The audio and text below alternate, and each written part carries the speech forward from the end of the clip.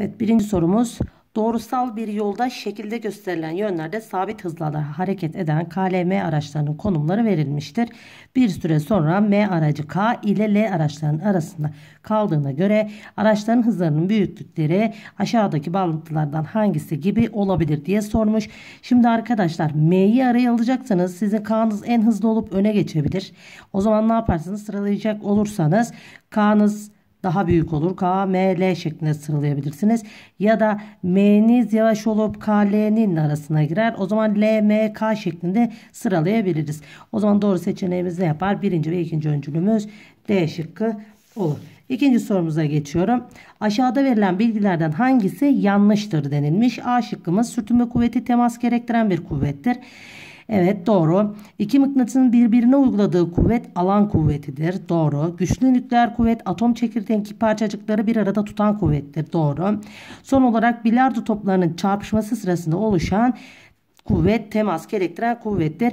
D şıkkında arkadaşlar dünyanın yarıçapı aynı kalma koşuluyla kütlesi daha küçük olsaydı üzerindeki cisimlerin ağırlıkları daha büyük olurdu ibaresi yanlıştır. Zaten bizim verilen bilgilerimizle de bir alakası yok. Evet gelelim üçüncü sorumuza.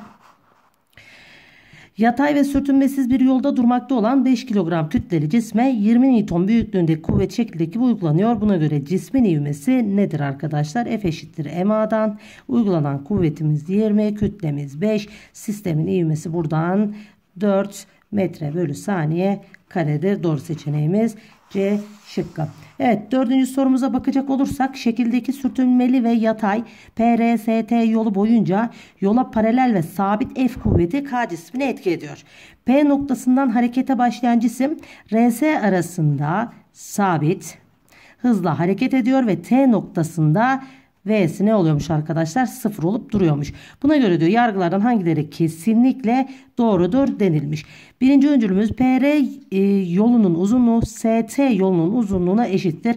Bunun için bir yorum yapamayız arkadaşlar. Çünkü e, sürtünmeli bir yol eşit de olabilir olmaya da bilir. Tek bildiğimiz RS yolunda hızının sabit gittiği. Bu da nedir arkadaşlar? Sizin uyguladığınız kuvvete sürtünmenin bu aralıktaki sürtünme kuvvetine eşit olduğundan eminsiniz. ST aralığında ise sizin sürtünme kuvvetiniz sizin e, kuvvetinizden büyük olduğu için nedir? Durmasını sağlamıştır. Bakalım. İkinci öncülümüzde cisim ile zemin arasındaki kinetik sürtünme katsayısının en büyük olduğu bölüm ST bölümüdür. Evet kesinlikle çünkü siz burada aracınızın durmasını sağlıyorsunuz. Üçüncü öncülüm F kuvvetinin büyüklüğü yolun RS bölümünde cismi etki eden sürtünme kuvvetine eşittir. Evet kesinlikle doğru çünkü sabit hızla gitmesini sağlıyorsunuz. O zaman doğru seçeneğim D şıkkı olur. Evet 5. sorumuza bakacak olursak arkadaşlar K ve L cisimlerinin kütleleri sırasıyla MK ve ML'dir. K cisminin H yüksekliğindeki potansiyel enerjisi şöyle yapalım. H yüksekliğindeki MK L cisminin 2H yüksekliğindeki bu da ML yüksekliğindeki potansiyel enerjisinin 3 katıymış. Normalde benim potansiyel enerjim neydi arkadaşlar? 2ml hg eşitmiş. Benim ne diyor?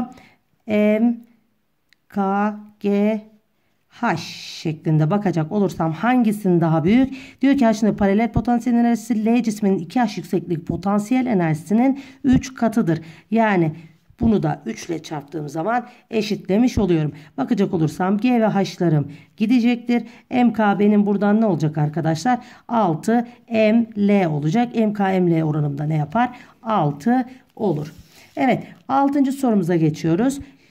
Yatay sürtünmeli düzlemde durmakta olan M kütleli K cismi yatay F kuvvetiyle T süreç çekiliyor. Dikkat edin arkadaşlar sürtünmeli bir yüzeyden bahsediyoruz. Bu sürede yapılan net iş omega oluyor. Peki net işim nedir? Benim burada F eksi F sürtünme çarpı alınan yoldur. Buna göre diyor işlemlerden hangileri yapıldığında T sürede yapılan iş azalır demiş. Yani benim işimin azalması isteniyor. Bakalım arkadaşlar. Şimdi siz buradan cismin kütlesini arttırmak. Cismin kütlesi benim nerede işime yarayacak? F sürtünmede. F sürtünmemiz neydi? M K, M, G'ydi. Siz kütlesini arttırırsanız sürtünme kuvvetinizi arttırırsınız ve bu farkınız küçüleceği için işiniz de küçülür arkadaşlar. F kuvvetini arttırmak sizin işinizin artmasına sebep olur arkadaşlar. Olmaz. Sürtünme katsayısını azaltmak. Sürtünme katsayısını azaltırsanız F sürtünme kuvvetini azaltırsınız. Bu değeri büyüteceğiniz için işiniz sizin artacaktır. O yüzden doğru seçeneğimiz yalnızca 1 olacaktır. Evet 7. sorumuza bakacak olursak Aşağıda nükleer reaktörün çalışması ve enerji dönüşümü şeması verilmiştir diyor. Buna göre şemada boş bırakılan 1, 2 ve 3 nolu boşluklara aşağıdakilerden hangisi yazılmalıdır diyor. Nükleer enerji suyun kaynaması. Suyun kaynaması nedir arkadaşlar? Burada siz ne yapıyorsunuz? Bir ısı veriyorsunuz ki suyu ısıttınız. Daha sonra tribün. Tribünü ne döndürecek arkadaşlar? Buhar enerjisi döndürecek. Daha sonra da Tribün döndükten sonra jeneratör ne işlemi yapacak arkadaşlar? Dönme hareketinden kaynaklı enerji dönüşümü yapacak. Yani dönme kinetik enerjisi olacak. Doğru seçeneğimiz A şıkkı olur. Evet gelelim 8. sorumuza. Salıncakta sallanan çocuğu çocuğu anne her defasında eşit bir kuvvetle itmektedir. Buna göre de yargılardan hangileri doğrudur? Anne çocuğa her defasında mekanik enerji aktarmaktadır. Evet doğru. Neden çocuklar? Çünkü havada bir sürtünme vardır. Siz bu sürtünmeyi ne yapıyorsunuz? İtiyorsunuz. Bir hız kazandırıyorsunuz. Gidip gelme hareketinde yavaşlamış olacak sürtünmeden dolayı. O yüzden her defasında annesi oraya ne yapıyor? İtme mekanik enerjisi yani hareketten mekanik enerji aktarmış oluyor.